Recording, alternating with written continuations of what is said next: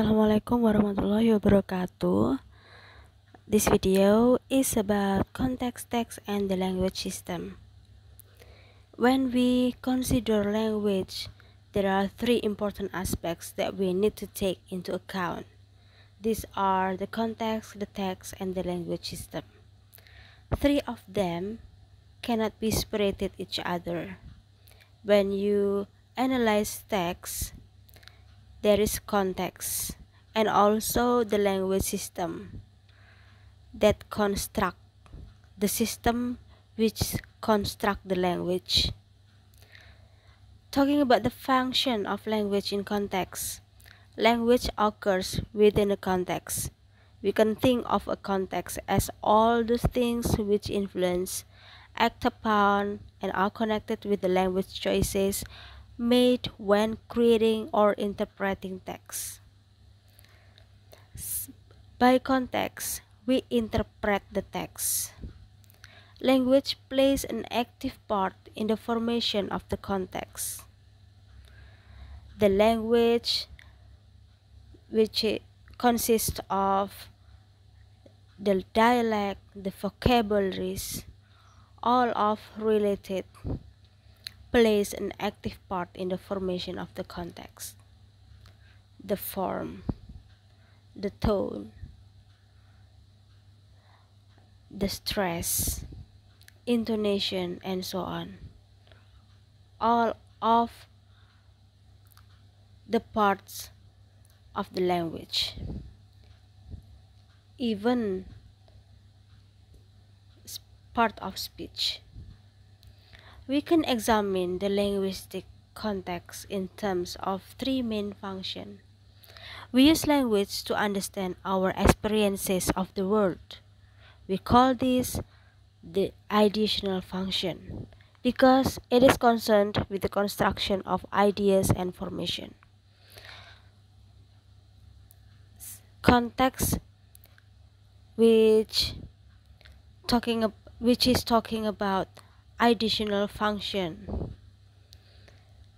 It is can be it can be called field.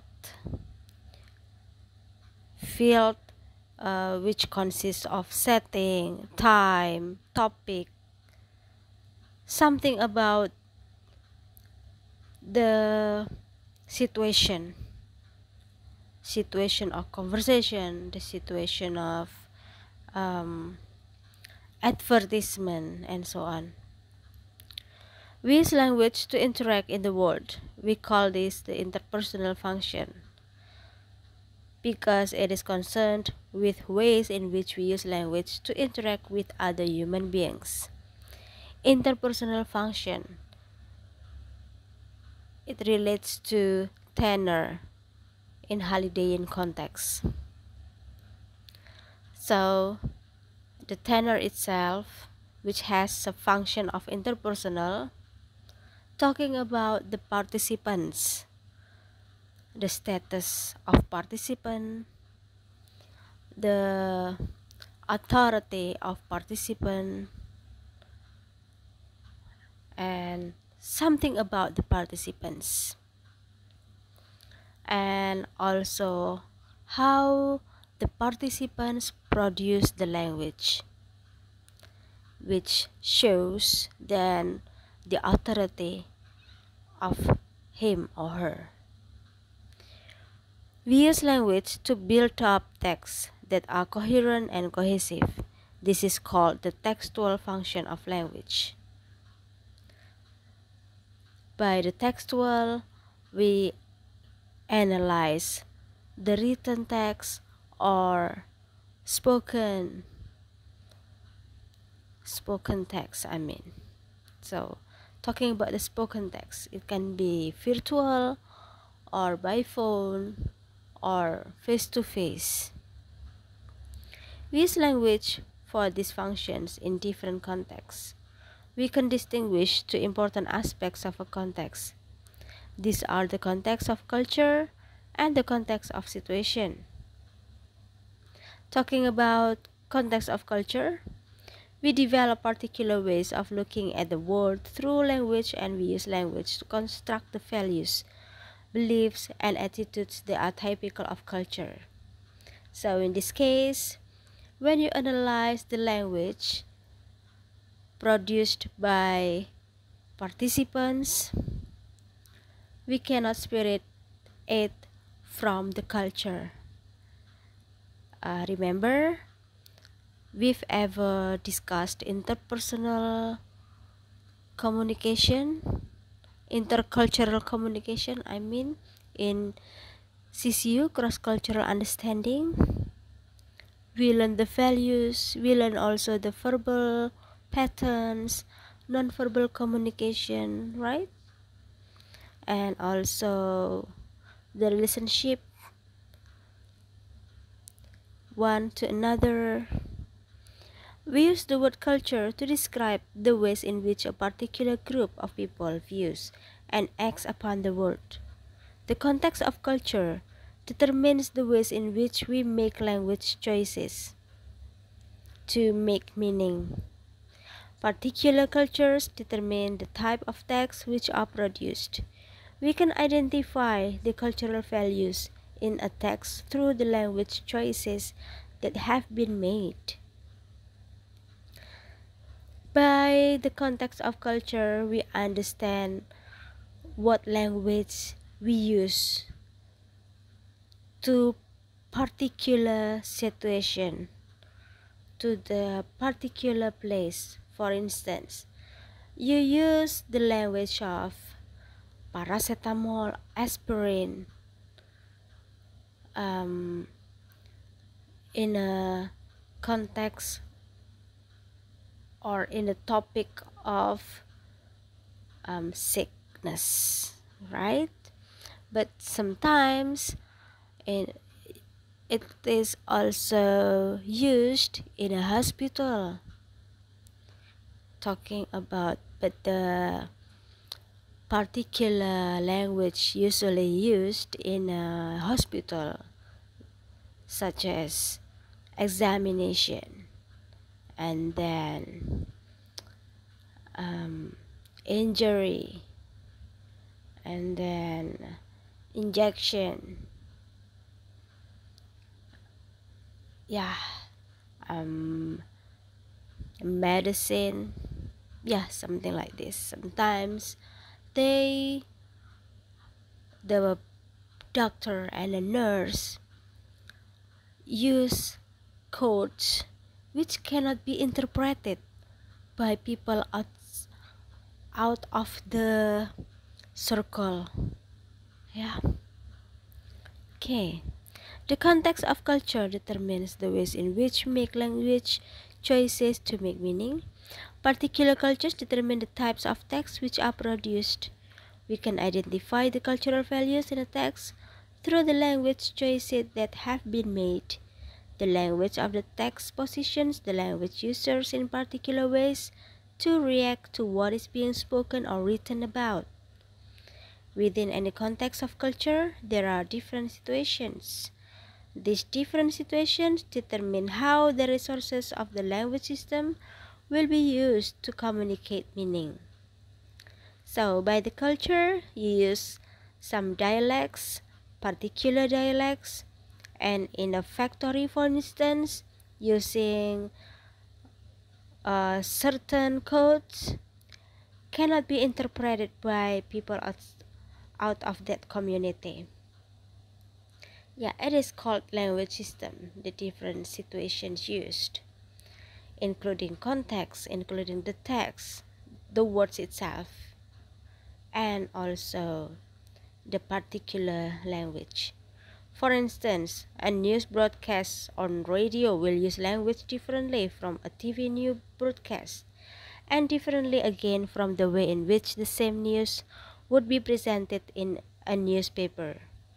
So, a news anchor, for instance, when they when they produce the language and record it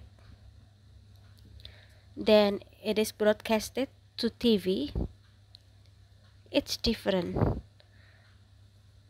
And the differences is from um, the the language they produce from the intonation, the tone, and the language system, how they construct the language. Yeah, that's different from written text. Even though the news which delivered which is delivered is the same.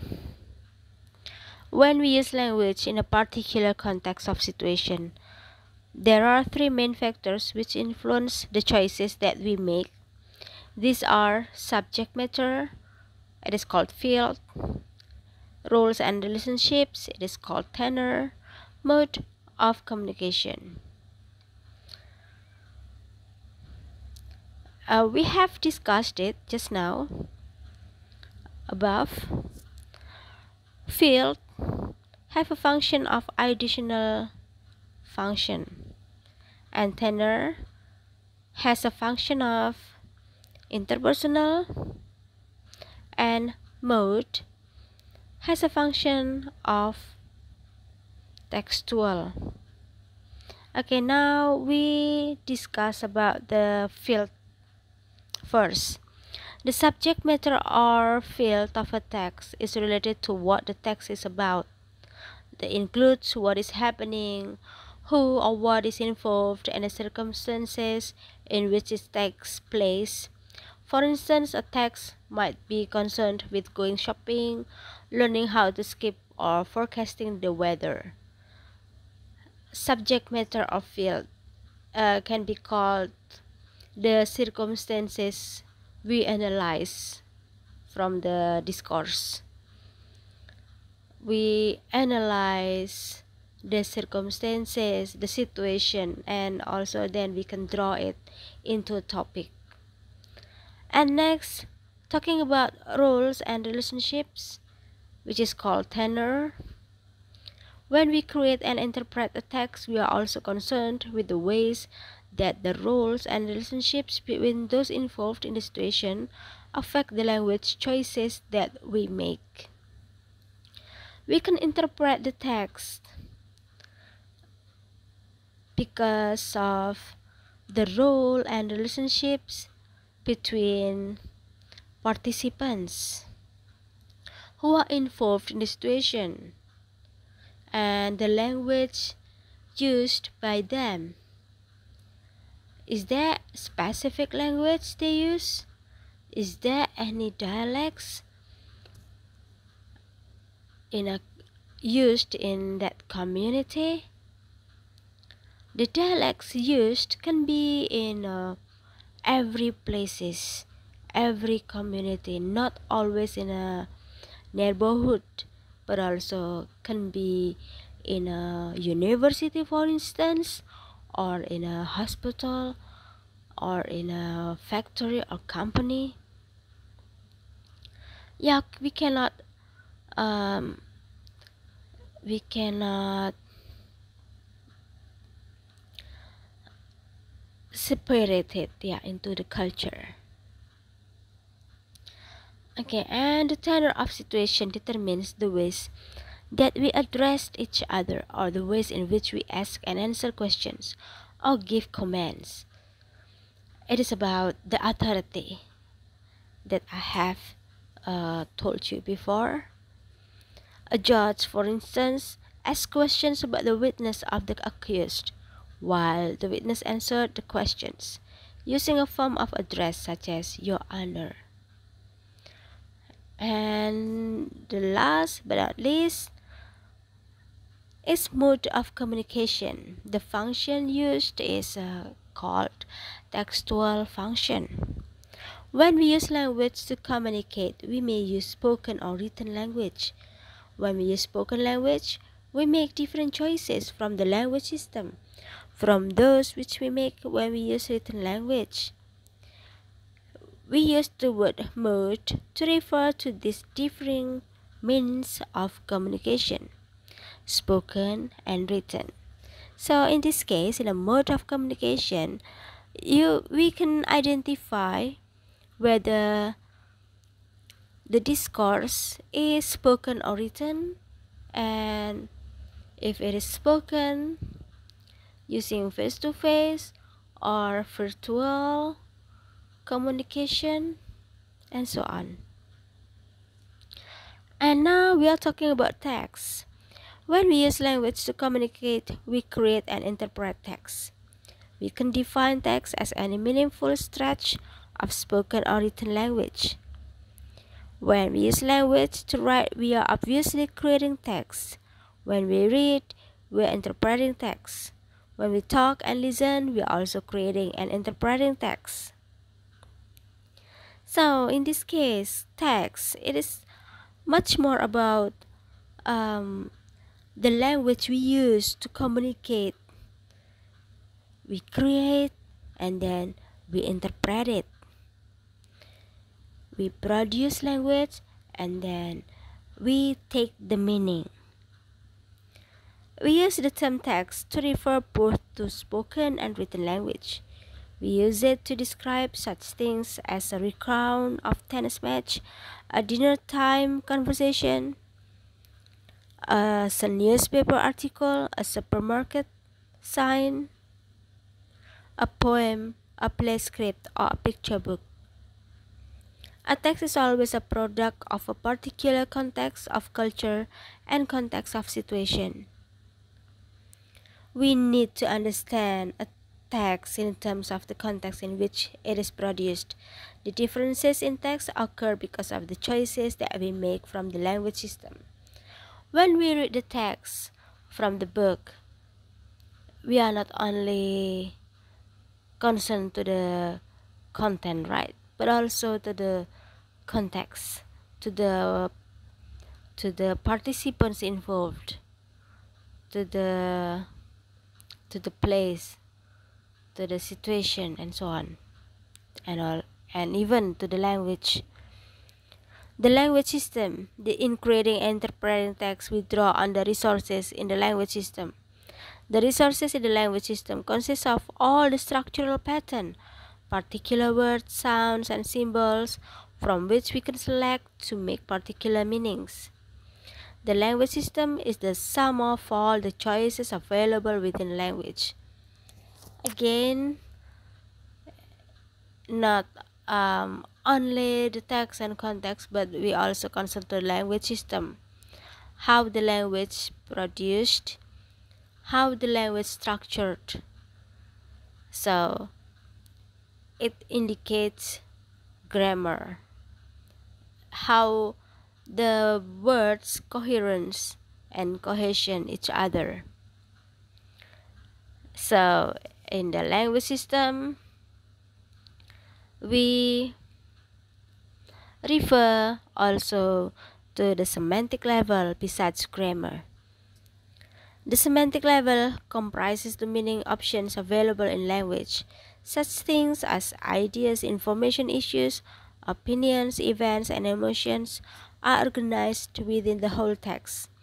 This takes into account such aspects as patterns of causality, ordering of ideas, patterns of time sequence, cohesion, and point of view. In a semantic level, how we understand the words by dictionary meaning. The semantic level is realized through overall text structures and particular grammatical patterns we can take the meaning of it from dictionary and also from the structure the tenses of the structure. For instance patterns of causality and time sequences might be indicated through the staging or tabs of a text and expressed through the choice of conjunctions. Besides the semantic level in the language system it also have it also has the grammatical level the grammatical level comprises the possibility comprises the possible structure of words phrases and clause it is mainly, mainly concerned with how ideational interpersonal and textual meanings realized in this grammatical level we take whether the text is logic because of its cohesive. It takes into account patterns relating to processes, participants, and circumstances, patterns relating to mood and modality, as well as thematic and cohesive devices. Please, uh, you memorize again the systemic functional grammar you have learned on the last semester. In functional linguistics, there is a close relationship between the semantic and grammatical level. Meanings are realized through the grammatical structure. Yeah, there is close relationships yeah in a between semantics and grammatical level. We can we can understand the text because it makes sense because of because because of semantic uh, because the level of semantic we can take the meaning from dictionary and also from the grammar meanings are realized through the grammatical structures and the graphological or phonological level. Graphology is concerned with the writing system of language, including the word processing functions of computers. It is graphological level. If we if we take a look at the written, the writing system includes individual written letters of the alphabet, letters in a particular combination spelling, punctuation, and layout. Phonology if we concern to the verbal, verbal language, it is concerned with the sound system of language. Phonological phonology includes individual sounds and sounds in combination, syllables, intonation patterns, rhythm, and punctuation marker, markers of speech such as stress, pause, and emphasis. So it is about how meanings are realized at the grammatical level.